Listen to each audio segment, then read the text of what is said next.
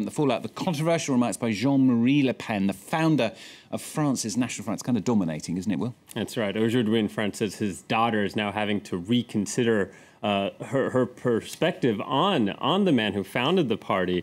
And Jean Marine's uh, Marie's word have, words, of course, have caused an outcry, and Marine condemned them as a political error. Now, historically speaking, many have accused the National Front of being anti Semitic, and the paper says that the remarks undermine the party's strategy to, over time, try to improve its image here in France.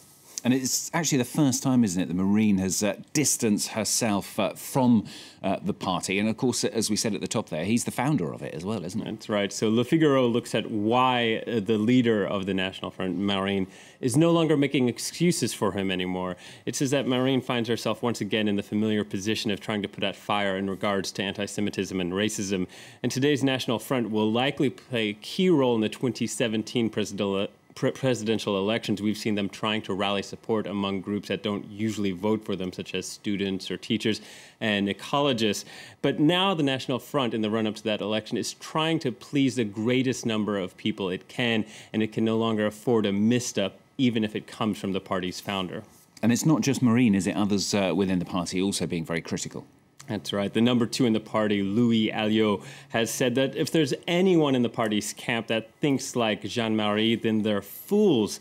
Now, Slate also looks at uh, the, the, the members, uh, the supporters of the National Front, but it's a very harsh take. Um, some would say a very appropriate take as well. It compares the supporters of the National Front to those of Philippe Pétain. This was France's Vichy leader in World War II who supported anti Semitic laws. And it says that they themselves, the supporters of the National Front, are not Pétainists, but they support a party that is from xenophobia to sexism to racism, and it calls on the greater public within France. It puts the onus on the public to tell the supporters of the National Front exactly what it is they're endorsing. We're also making uh, the front pages here in France the threat of Islamization, uh, Islamization uh, in prisons a tricky word and it's a tricky thing to manage here in France. this comes after the shooting at the Jewish Museum in Brussels. Now, French police arrested suspect Mehdi Nemmouche, who is believed to have been radicalized during his stint in prison. And Le Figaro says there are some 150 radicals that, quote, seek to fanaticize the French prison population. An editorial inside the paper says this is a ticking time bomb and says that, in fact, about half of France's uh, prison population is Muslim but the prisons lack the man- manpower to appropriately monitor uh, the, the populations, but also the, the manpower to provide support. It says in all of France there are only 167 Muslim chaplains. That's more than five times fewer than the Christian counterparts. Now, Will's also uh, pulled out an international story. This is the Catholic newspaper Le Croix looking at uh, the Pope's call for peace in the Middle East. Right. Le Croix returns to this prayer meeting held Sunday at the Vatican. Uh, Pope Francis invited Israeli President Shimon Peres and his, his, Palestinian counterpart Mahmoud Abbas. And Le Croix says this was a historic and unprecedented gesture, that we shouldn't get our hopes up about its effectiveness to bring peace. Nonetheless, it could be effective in continuing the dialogue, and that's what this is all about. Plus, uh, the paper's also looking at another hope for dialogue. This is uh, between Ukraine and Russia, isn't it? That's right. Now, Le Figaro says there's a hope of dialogue being resuscitated after Russia recognized Ukraine's newly sworn in President Petro Poroshenko.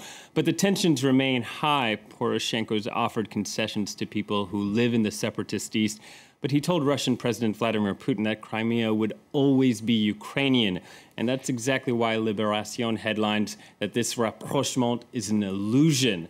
It says while there are positive signs, Ukraine is suspicious of Russia's attempts for a ceasefire. Kiev and the West pin blame on Moscow for supporting the separatists. And Libe says no one, since no one's positions have changed, the violence is likely to continue. Well, looking at the uh, French papers here on France 24. Thanks a lot. Coming up after the break, uh, of course, we've got more on that uh, ongoing news story. Well, uh, the latest we've heard uh, from Pakistan is that the firing has now stopped at uh, the airport at Karachi, but the Taliban in the last few minutes claiming responsibility for that attack. At least 23 people killed. We'll have the very latest uh, on it right after the break, so stay with us if you can.